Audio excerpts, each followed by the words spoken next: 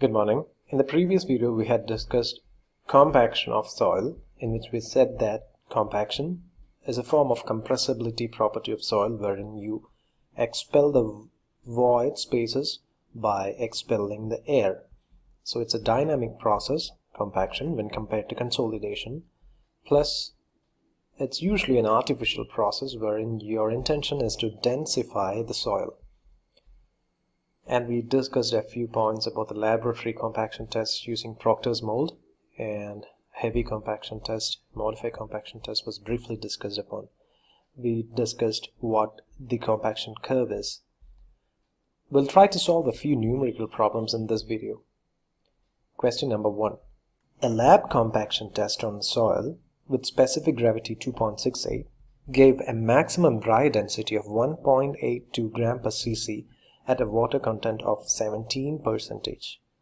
Find the degree of saturation and the percentage air voids. So you are given with the maximum dry density rho d max 1.82 gram per cc. Now we know the expression rho d as g by 1 plus e into rho w.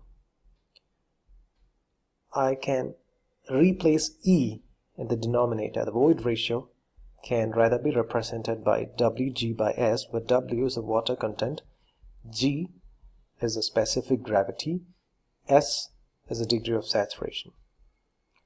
And of course, rho W is the density of water, which you can actually take as 1 gram per cc or 9.8 kilonewton per meter cube. In this particular question, water content is given as 17 percentage or 0.17. Specific gravity G is 2.68 and rho W I can take as 1 gram per cc. Plus, we are given with the left hand side LHS rho D 1.82 gram per cc. So 1.82 equal to G 2.68 by 1 plus WG by S W is 0.17, G again is 2.68, S is unknown value, 1 is rho W in gram per cc. So when you give 1 here, you should make sure that the left hand side is also in gram per cc. So solving this equation, the unknown value S turns out to be 0.94 or 94 percentage, the degree of saturation. Now the second part of the question is to find the percentage air voids, Na. So I can make use of the second equation for rho d, 1 minus Nag by 1 plus Wg into rho w. This is the equation that we discussed in zero air voids line. So rho d already given as 1.82, Na is an unknown value. G, specific gravity, is given as 2.68. Water content is 0.17. G again is 2.68 and rho W is 1 gram per cc. Substituting that, the only unknown turns out to be Na or the percentage air voids whose value is 1 percentage. Again, try to work out this problem on your own and check whether you are getting a similar answer. Next question. A lab compaction test on soil gave the following results. Find the OMC and MDD. Also plot the zero air voids line and 5 percentage air voids line for G equal to 2.72. Now this is a typical data that you get from the compaction test in the laboratory. Once you complete the compaction test in the laboratory, you'll be given with or you'll be having moisture content which you obtain from the oven drying method and the bulk density rho in gram per cc. So this is a typical uh, tabular column that you can expect from a laboratory compaction, Proctor compaction test.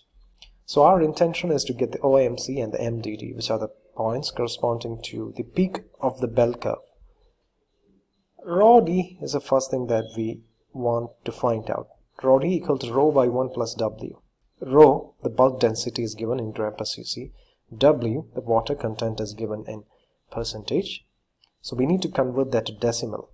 12.85 will be 0.1285 so rho d corresponding to the first column is 2.06 by 1 plus water content 0.1285 so d turns out to be 1.82 gram per cc. Likewise you can have the rho for the second column 2.13 by 1 plus 0.1428 so rho d is 1.85 gram per cc.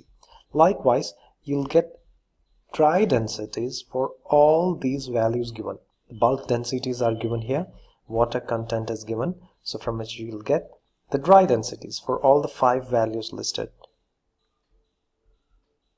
1.82 1.85 1.86 1.84 and 1.81 so when you plot the water content and the dry density in gram per cc, which means the last two rows, you'll get a plot like this, a bell curve. And once you plot that in a graph sheet, a decimal graph sheet, you can find the density, the dry density corresponding to the peak point, which we call as the maximum dry density, and the water content or the moisture content corresponding to the peak point which we call as which we call as optimum moisture content. So I'll get MDD and OMC roughly it turns out to be 14.9 percentage OMC and maximum dry density is 1.87 gram per cc the second part of the question is to plot the zero airvoids line and the line corresponding to 5 percentage air voids. So I have the compaction curve here. Now I'll have to plot the 0 air voids line and the line corresponding to 5 percentage air voids. So I have the equation rho d equal to 1 minus Na by 1 plus Wg into G rho W. So 0 air voids line is a line that corresponds to Na equal to 0 because you have zero air voids and also 5% air voids line is the second part so to get the points for zero air voids line you can substitute Na equal to 0 in this equation for each of the water and the coordinates would be like this 1.98 1.94 1.90 1.87 and 1.83 for 0 airvoids line. Likewise, for 5 percentage airvoids line, you need to substitute Na equal to 5 percentage or 0.05 and the coordinates for 5 percentage airvoids would be 1.88, 1.84, 1.80, 1.78 and 1.74. So when you plot dry density for 0 airvoids line versus moisture content, you will get the zero air voids line like this. And when you plot the third row 1.88 1.84 1.80 1.78 and 1.74 against water contents? 14 15 16 17 and 18 you will get a line like this which corresponds to 5 percentage air voids next question. This is an application level question. As per the compaction specification a highway fill has to be compacted to 95% of standard Proctor compaction test density. A borrow pit near the project site has a dry density of 1.65 gram per cc at 100% compaction and natural void ratio 0.61. The specific gravity of the soil solids is 2.65. Compute the volume of the borrow material needed to construct a highway fill of 5 meter height and 1 kilometer length with side slope 1 vertical is 1.5 horizontal and the top width of the fill is 8 meters. This is an application level question which means assume that you are an engineer at the site where an embankment is to be constructed the dimensions of which are given in the question. So I have a sketch. The dimensions are shown here. Top width is 8 meter. You have 1 kilometer or 1000 meter length embankment. Height is 5 meters. And the slope is 1.5 horizontal 1 vertical so the dimension is shown here the top width is here and the bottom width can be obtained from the slope given length is 1000 meter or 1 kilometer and the height is 5 meters now in order to construct this embankment you are taking a soil from a borrow area near the project site. The properties of the soil from the borrow area is given here. 1.65 gram per cc at 100% compaction with a natural voids ratio of 0.61. So you are asked to compute the volume of the borrow material needed to construct the highway fill. So we have a borrow pit here or a borrow area in which the soil has a dry density of 1.65 gram per cc and the natural voids ratio of 0.61. I am transferring soil from this borrow area or the borrow pit via truckloads and depositing to form the embankment of this dimension but the embankment has a different density. Now to start with we need to find the volume of the embankment. You have the top width 8 meter and the base width can be found out from the height and the slope. So the base width is top width 8 meter plus 2 times height 5 into 1.5 the horizontal ratio. So the base width is 23 meter. You have an embankment whose top width is 8, bottom width or the base width is 23 meter and the height is 5 meter and the length is 1000 meter or 1 kilometer.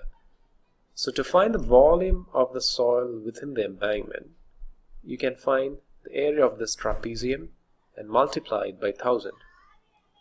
So the volume is half 8 plus 23 multiplied by 5 multiplied by 1000. 77500 meter cubes of material is required. Now let's make use of the three-phase system diagram. You have solids, water and air. The total volume is 1 plus E where solids is 1 and void ratio is V, v equal to void ratio E. So the total volume is 1 plus E based on our three-phase system diagram. And the volume of the embankment that we have here is 77,500 meter cube. Now, the borrow area has 100% and fill has 95% of standard Proctor compaction test density. These are the data already given in the question.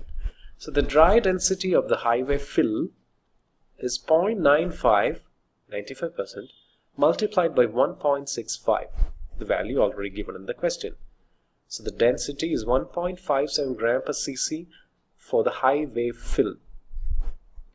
Now the void ratio of the highway fill is G by rho d minus 1 equal to 0.69. Uh, now this is from our basic relation rho d equal to G by 1 plus A into rho w. So rearranging you'll get G by rho d minus 1 equal to E. So void ratio of the highway material fill is 0.69 and the dry density of the highway material fill is 1.57 gram per cc. Now let's make use of the three-phase system diagram here. Let the borrow pit's volume be VB and the fill's volume be VF. So I can take the ratio of VB by VF as 1 plus E by 1 plus E of borrow by fill or VB equal to 1 plus EB and VF is equal to 1 plus EF. So VB by VF equal to 1 plus void ratio of borrow pit by 1 plus void ratio of fill. Now the volume of soil required from the borrow area VB is 1 plus EB by 1 plus EF into VF. 1 plus EB is a void ratio of the borrow pit EF is a void ratio of the fill and VF is 77,500. So VB, same equation, is 1 plus 0.61 by 1 plus 0.69 multiplied by VF equal to 73832 meter cube. In short, you need to take 73,832 meter cubes of soil from the Borrow area and transport to get the fill.